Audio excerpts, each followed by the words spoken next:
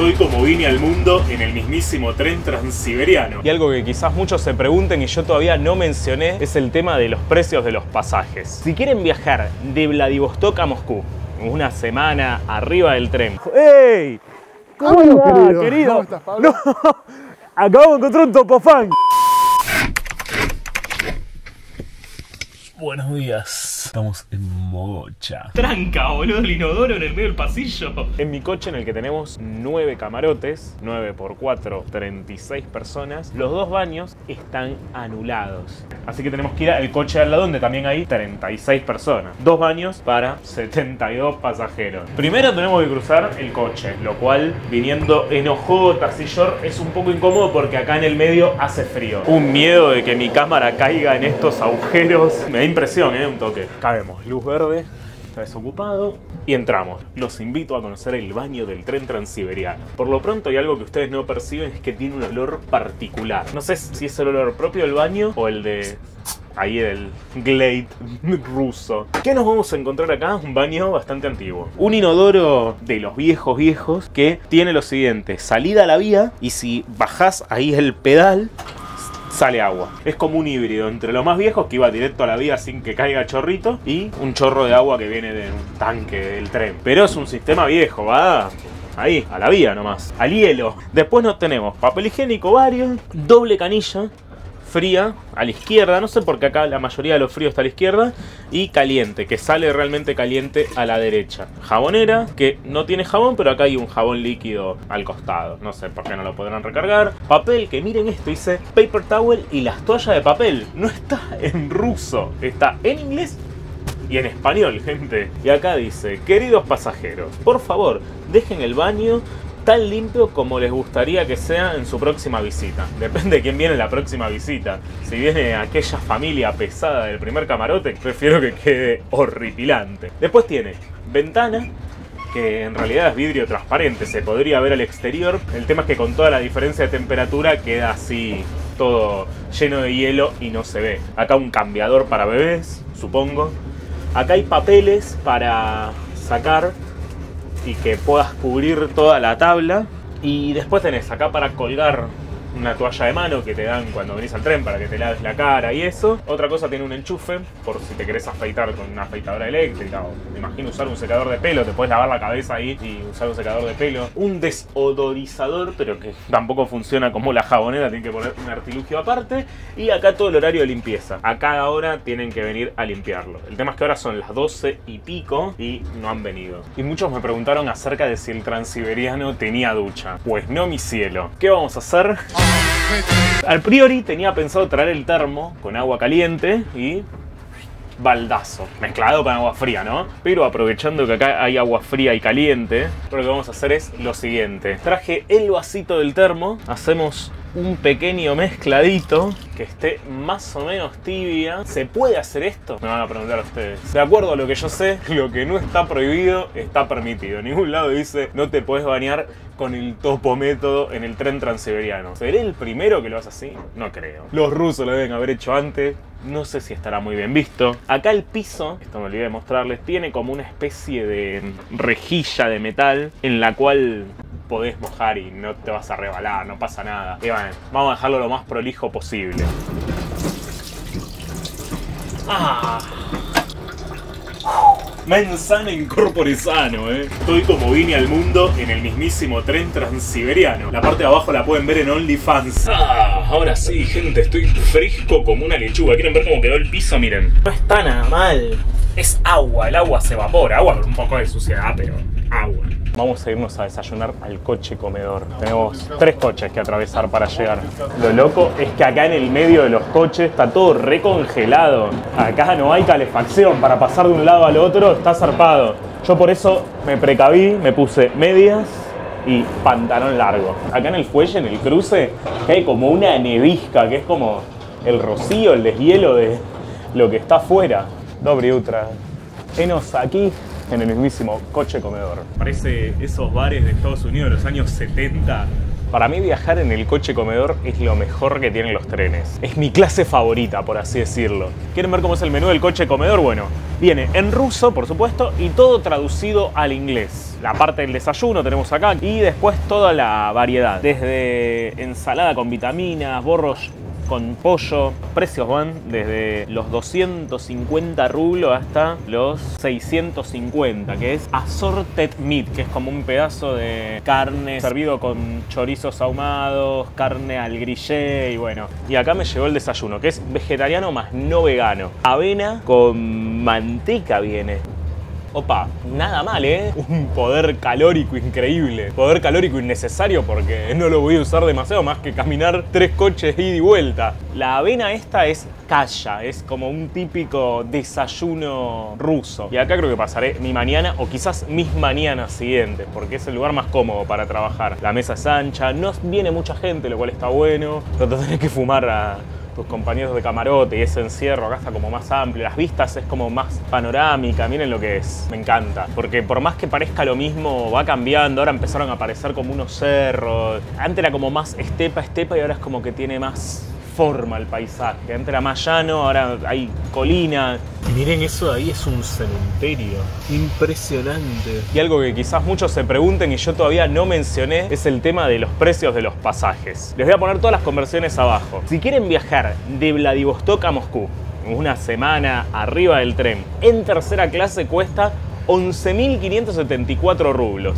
En segunda, 22.687 y en primera 49.000 rublos. Es un número, pero piensen que es una semana arriba del tren. Para más comodidad, a ver, la posta es primera. Todavía no hemos viajado, pero en vez de cuatro en un camarote son dos. O sea, sí o sí te toca la de abajo. Mi problema es que tengo la de arriba, que es tremenda. Y encima estoy en camarotes donde hay cuatro camas y somos cinco, porque viajan con nenitos y el nenito se ve que no paga va con la madre, pero son cinco almas adentro de un cubículo, cinco respiraciones, más el nenito que te levanta llorando a la hora que sea. Y bueno, para comprar los tickets en el tren, ahí está la cuestión. Antes de que le impongan las sanciones a Rusia, vos lo podías comprar por internet sin ningún problema. Entrabas a las páginas de la línea de ferrocarriles ruso y con tu tarjeta común de cualquier lado, comprabas. Ahora, con todo este lío, las tarjetas internacionales acá no se aceptan y la única manera que yo tuve para comprarlo fue ir a una estación de trenes, en mi caso a la de Kazán y ahí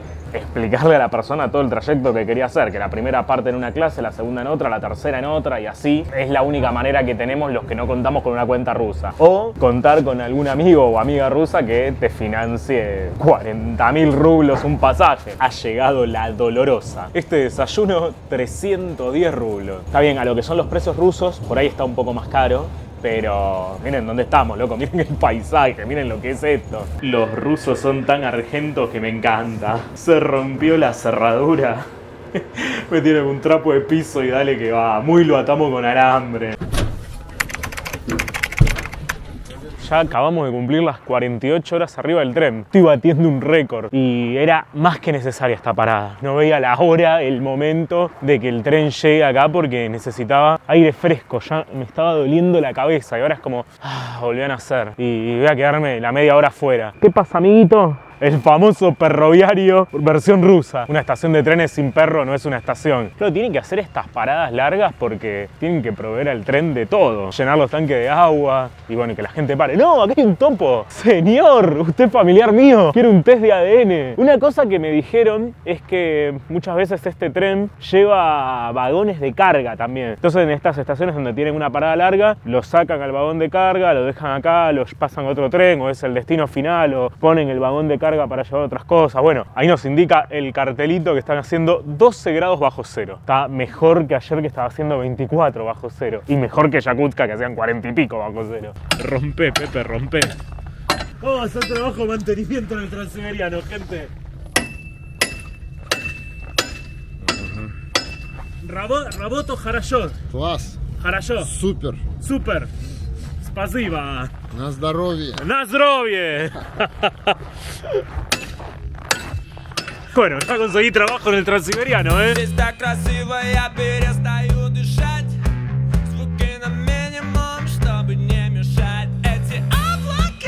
Si algo faltaba para argentinizar este tren, Vamos a preparar un Fernet Branca en las tacitas del Transiberiano. Lo que sí, bueno, no conseguí Coca-Cola. Está medio problemático acá para conseguir, pero vamos a prepararlo con Green Cool. Yo quería probar con la Cola, que es mi favorita, pero es lo que hay, gente. ¿Qué hacemos? ¿Cucharita o dedo? Estamos invitados a tomar el té, ¿eh? La argentinidad al palo, ¿eh? Ahí va. Salud, gente. Como se dice acá, Nasdrovie. Nada mal el Fernet con la green cola, ¿eh? Vamos a ofrecerle acá a Di María, el amigo guarda. Ziliña, tieja chu, Argentina drink, cola, Fernet. Chuk chuk. Nie coffee, nie coffee, Argentina, Fernet.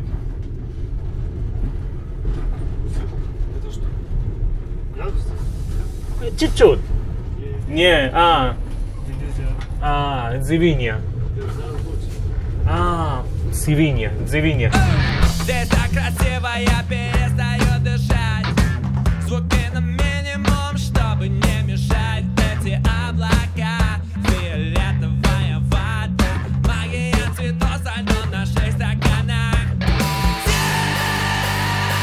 Estamos en una estación icónica, en Chita. Acá es donde el tren se desvía hacia China. El transiberiano original es el recorrido que hace de Moscú a Vladivostok, el que estamos haciendo ahora. Pero después tenemos el transmanchuriano, que precisamente va desde Moscú hasta Beijing y acá es donde termina su recorrido por la parte rusa y después cruza hacia China. Y más adelante, en Ulan Ude, que ya viene próximo, vamos a pasar por donde se desvía el recorrido del Todavía, y por lo que estuve averiguando, el servicio del Transmanchuriano no está funcionando hasta Beijing. Si no saben cómo iba, de todas maneras, hasta el mes de abril 2023 todavía no puedo sacarme la visa de China para poder entrar, así que por más que el tren llegue, no podría tomarlo, pues sería rebotado en la frontera. Ya lo tomaremos, ya lo tomaremos, lo prometo. Y acá tenemos una parada larga de 41 minutos. Lo que no veo es lugares para vender comida. Voy a mandarme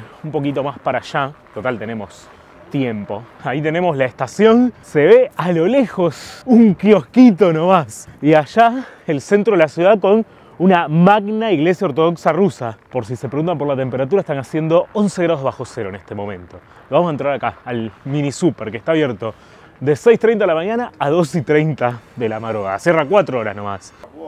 Привет. Привет, привет. Как дела? Как дела? Hay de todo, una gran variedad. Lástima, no hay mucho vegetariano. Igual yo ya comí, así que voy a agarrar algo como para, para el postre. Miren, hasta cosas chinas creo que hay. ¿Chocolate? Davai. No, no, el cambio. Eh, no me quiere dar cambio, me da café. 50. Eh, me quiere dar café, boludo, ¿qué onda? Nie, nie, no, no, no, el cambio, el cambio, los 50. Platita, amigo. No, no. Eh, 50. No, dame el cambio. Ok. Eh, nie. Spasiva. Boludo, te quieren currar 50 rublos dándote cosas. ¿Qué onda? ¿No saben que yo me crié en un supermercado chino? Ahora, yo estoy diciendo chita, pero no sé si es chita la manera correcta de decirlo. Es como al chipá, que algunos le dicen chipá, otros le dicen chipa, bueno.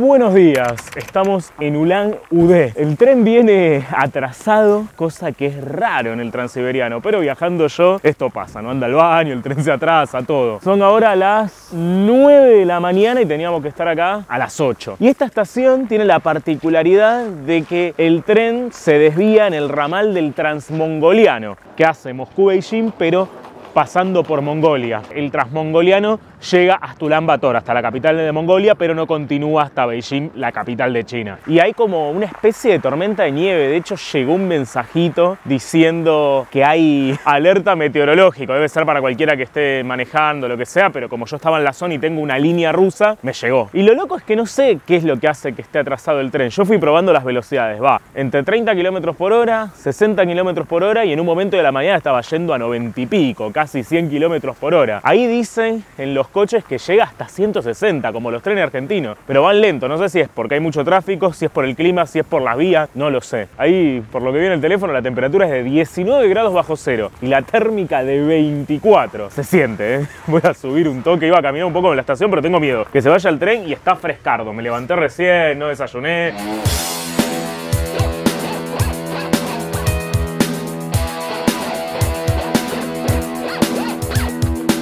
Mientras espero la comida, llegó el jugo de manzana. No tienen gaseosa, jugo o té. Y también se me sumó un amiguito. Privet. Me veo y se sentó. Así, así pasan. Los comedores, los trenes rusos te dicen, ah, argentino. Tipo, la charla es tres palabras, que es lo básico que hablo. Y puso acá unas, unos temanes. Ah, ¿qué todo esto? Sector Gaza. Bueno, ahí venimos escuchando música esto era lo que necesitaba, música con altavoz. Eh, esto, esto ya lo hace un tren popular, gente. Mientras suena la música del amigo, acá llegaron las papas con tomate, un pan. Eso es todo lo vegetariano que hay en este coche. Está muy bueno. Tiene una banda de aceite y me gusta. Y el tomate como para limpiar un poco ese aceite. No ferpa, no parties acá el amigo. Acá una canción de Argentina. Pero eso se terminó. Porque en el Maracaná la final con Lora Azúcar la volvió a ganar papá. Muchacho. Muchacho. Argentina Champion, mira. Me acaban de traer la dolorosa. 530 rublos. No es barato, menos menos para Rusia, pero ¿qué le vamos a hacer? Estamos en el transiberiano. Esa mancha blanca que ven por la ventana no es nada más ni nada menos que el famoso y por qué no tan bien ponderado el lago Baikal. Acá mismo, el lago más importante de Rusia y el más profundo del planeta Tierra. Está acá, al lado nuestro, congelado. Sería el Nahuel Huapi de Rusia.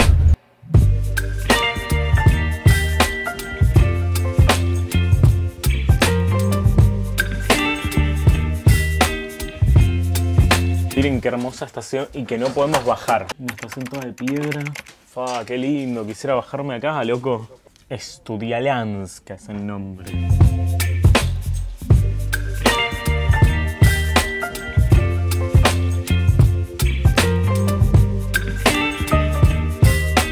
Hemos llegado a Irkutsk. La temperatura acá, 19 grados bajo. ¡Ey! ¿Cómo estás, querido? ¿Cómo estás, Pablo? Acabo de encontrar un topofán. Eh, el En plena estación de Irkutsk. En Siberia. Tucumano en Irkutsk que me dijo, Topo, si venís a la estación te vengo a ver. Faltó el regalo. Vos hiciste este viaje hace 10 años. No entero, pero hice una gran parte. Yo ya estoy en un momento y digo, ¿qué estoy haciendo acá? Yo lo hice en una época que yo tenía el plan de ver varias series de televisión en la compu. Vi el primer capítulo, se acabó la batería y descubrí que no había tomar corrientes. Ah, no, ya es otra cosa acá, ya. Sí, sí. No, ahora hay, hay comida. En esa época no había. Claro, no, no, no, no, está, está piola. Es el tren 61M, que es uno de los Sí. más largos. El más mítico es el 001, por supuesto. Claro, el primero. El 009 es el que va a Pekín, pero ahora está suspendido por la pandemia. Fa, loco, miren qué hermosura esta estación. No podemos cruzar por la vía porque nos matan. Buen viaje. Gracias, querido. Nos vemos. Algo que está bueno acá es esto. Aparece el nombre de Ana Polosova, que es la train manager, la guarda. Y acá tenés un código QR en el que podés calificarla y decir cómo fue su atención. Y si tenés algún problema, puedes contactarte con Vladimir Piastolov, que es el director general de los trenes de Rusia.